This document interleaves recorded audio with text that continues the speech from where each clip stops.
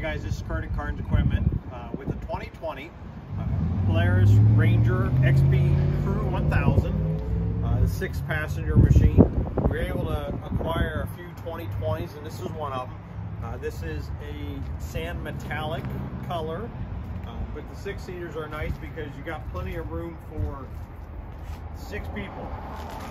Very comfortable, very nice seating area. Of course, the Rangers have the full-size dump bed on there uh, that you can put quite a bit in, uh, as well as the two-inch receiver on those.